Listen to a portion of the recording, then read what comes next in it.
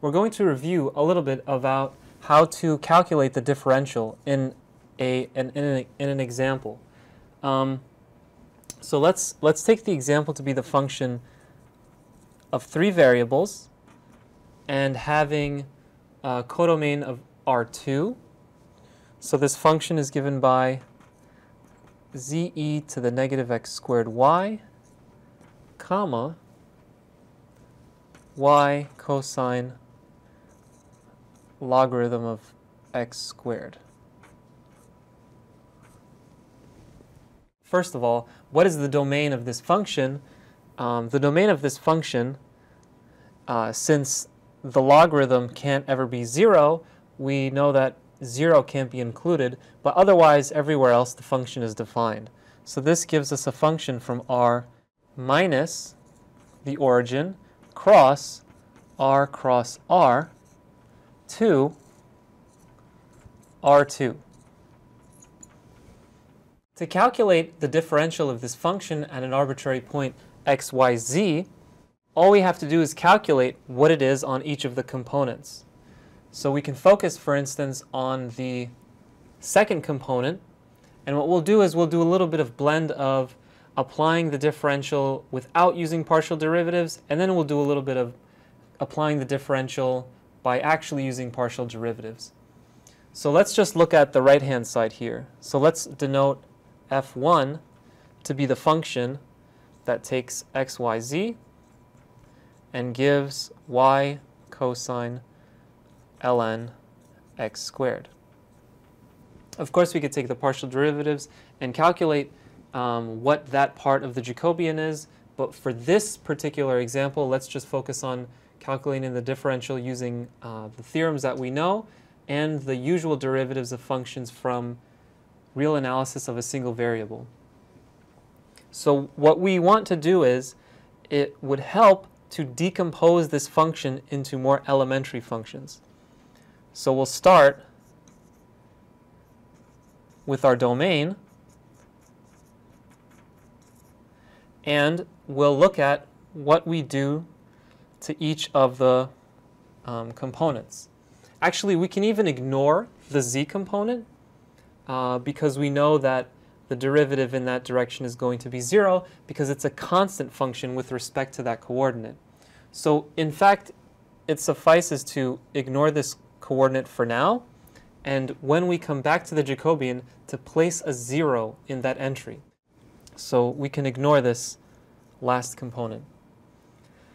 So first, before we even do anything, before we multiply, before we take logarithms or cosines or anything like that, we want to remind ourselves that we're starting with the point xy. And the last step should be that we multiply the two entries. And if you notice, we do absolutely nothing to the y coordinate, and all the action is really happening in the x coordinate. And what's the first thing that happens? The first thing that happens is that we square x. So we apply the square function, and we leave the second component fixed. That's the identity. And where do we land? Well, we land in r. In fact, it's, um, again, r minus 0. Uh, or we can just say the positive real numbers. Let's just make it easy. Um, cross r. Now, we're dealing with positive numbers. The logarithm function makes sense. So we apply that now to the second, to the first uh, coordinate. And then we leave the second coordinate still fixed. Let's check to make sure all of this works out. When we square it, we get x squared, comma y. And then this now, logarithm is a function whose codomain is r, because it takes positive and negative values as well. And this gets sent to logarithm of x squared, comma y. We still haven't multiplied these two coordinates.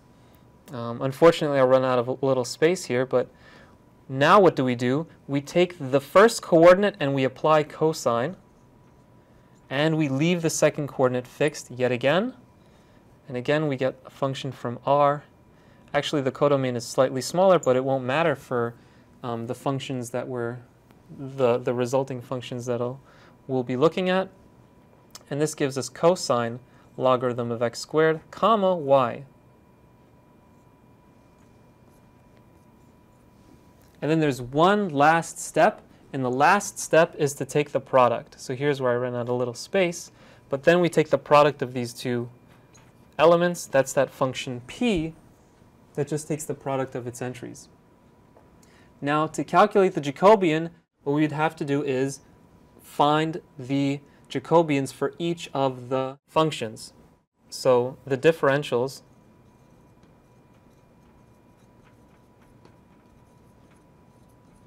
associated to these functions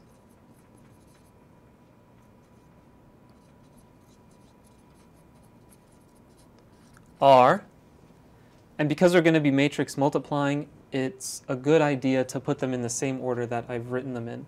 And let's work our way from right to left. So, and hopefully we'll have enough space. So the first function, let's check to make sure what the differential, what sort of a matrix the differential should be. The codomain is, has two components and the domain has two components. So it should be a two by two matrix. And not only that, but we know that the differential, when applied to a product, it puts it into block sums inside of our matrix. So the first block is the first function, and then the second block is the second function. So this is going to be d at the point xy of the square function cross the identity is equal to dx, the square function, direct sum, or cross product if if that makes you feel a little bit uncomfortable, all this means is that we're taking the block sum of these two matrices um, with dy at the identity. The square function, the derivative of that is just at the point x is 2 times x. So that's 2x. And we're doing this block sum, so the off the diagonal the off diagonal terms are going to be 0. And then what's left over, dy of the identity, the identity is a linear transformation, so we just leave that fixed. And that means it's just the element 1. It's the identity 1 by 1 matrix. Because again, this is a function from R to R. So this piece is a 1 by 1 matrix, this is a 1 by 1 matrix, and we're taking the block sum of those 1 by 1 matrices. So this is the matrix associated to the differential of the first function we have. The second function is d now we apply at the point x squared. So it's x squared comma y, and it's the logarithm cross the identity. And again, this is the, the differential applies through both sides, and it's going to be dx squared, the logarithm, direct sum, the identity. And what is the derivative of the logarithm? That's just 1 over the value of its input. And the input here is x squared. So the first coordinate is going to be x squared. Then it's 0, 0, 1 again. Now let's look at the next linear transformation. So the next one is we're taking d of cosine. So we apply d, and now we're do evaluating at the point logarithm x squared comma y of cosine cross the identity. So again, we have this block sum. And this time, the first the er, entry in the top left corner is going to be the derivative of cosine, that's minus sine, applied to the value logarithm of x squared. So it's going to be minus sine logarithm of x squared.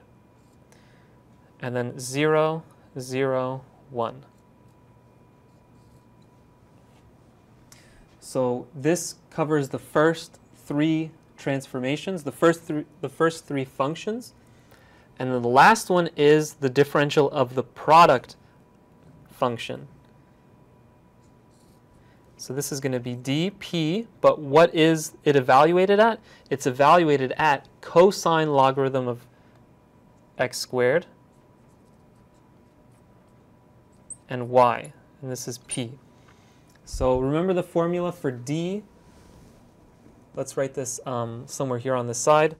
D of ABP is the linear transformation, the matrix. By the way, um, I should have written this more clearly. It's a 1 by 2 matrix. So we're only going to have um, one row there. So this is going to be BA. It's the matrix BA. So this is going to be the matrix Y cosine logarithm x squared. The 1 by 2 matrix. And then to get the resulting Jacobian, we multiply all of these together by the chain rule. So the chain rule says that's what we can do. That's what the chain rule means. So this is just going to be a 1 by 2 matrix as well. And the first entry is going to be y times the first entry here plus 0. So it's minus y sine logarithm of x squared. And then this one, the next term is going to be just cosine logarithm of x squared. So that's our 1 by 2 matrix. And then we have this one. So this one is going to be a 2 by 2 matrix. And it's this times this. So that gives me 2 over x, 0. Then this is going to be 0 as well. And that's the identity. I guess we could have, we would have known that right away because we're taking the block sum of uh, matrices. So we know that we don't have to do all that matrix multiplication out. And then the result of this is just going to be another 1 by 2 matrix. And in the first coordinate, it's going to be minus 2, let's see, yep, y over x sine logarithm of x squared. And the next term is just going to be cosine logarithm of x squared. So that's the long method of calculating what the differential is. Uh, there's a short method, and the short method is just to use partial derivatives.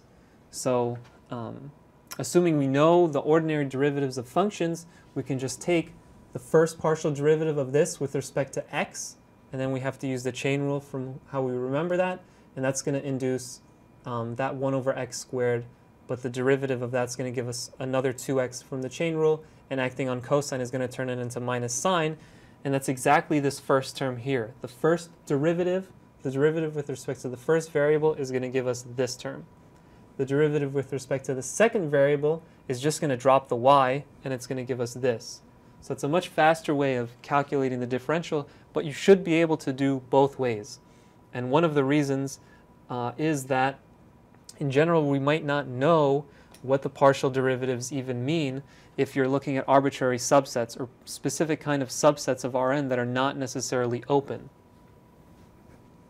So this, this computes for us the differential, and if we wanted to find the differential of f1, all we have to do was add on an extra zero term in the third coordinate, so that we have a 1 by 3 matrix. So this means that the associated Jacobian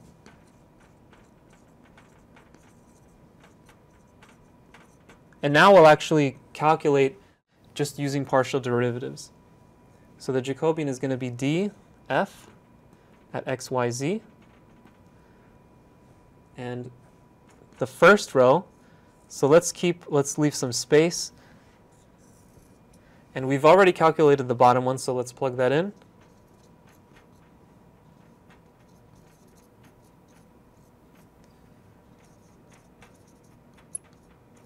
And then the last entry is this 0. And now, if we look at the first one, so the derivative with respect to x is going to drop down um, everything except, so we'll have minus 2xz e to the negative x squared y as our first component. Then the next entry in the 2 by 3 matrix is going to be the derivative with respect to y, and that doesn't do anything. Oh, sorry, it drops down um, a minus x squared, doesn't it? Yeah, and so does this. Um, so there's actually a y here as well. So this drops down an x squared. Let's try to fix that in here. Minus x squared. e to the minus x squared y. But that, that stays alone. And now, for the third component, that one's maybe the simplest one. It's just e to the negative x squared y. So this is the differential of f at the point x, y, z. So for instance, we can calculate, um, just for an example, we can calculate what the derivative of f is x, y, z, where we've set x, y, z to be, let's say, 1, 1, 1. And we can evaluate this. I should have just written 1, 1, 1 to not be confusing, but I hope you know what I mean. And then we can apply this to the vector. Let's just apply to the vector 1, negative 1, 1. So if we calculate this associated Jacobian, when we plug in, and we have to be careful about what we plug in. Remember, we're plugging in x, y, z equals 1, 1, 1 here. So that's where we're plugging in all over, all over here. So this is just going to be negative 2 e to the negative 1. So that's negative 2 over e. And here we're going to have negative 1 e to the negative 1. So that's negative 1 over e. And then the last component is just going to be 1 over e. And we're all going to apply this when we're done to the vector 1, negative 1, 1. So on the bottom row, the logarithm of 1 is just 0. So all of these, um, so the, actually the first one is 0. Right? The first one is 0 because sine of 0 is 0. But cosine of 0 is 1. So that's that. And this is 0. So let's see what we get. When we multiply the first, so this one, these two add up and this one cancels with that. So the first entry, which is going to be, by the way, a two-component vector, is going to be 0, and the next component is negative 1. So that's how you evaluate. So that's, this is how you calculate the differential of a function. You can do it in two ways, either calculating using theorems that we know, or you can calculate using partial derivatives. And then when you want to apply that differential to a specific vector, you make sure you plug in the values at the point that you're at because this depends on where you are, where you apply the differential, and then you can apply any vector whatsoever here. And then you can calculate using usual matrix multiplication to find out what the differential is at a point applied to a specific vector.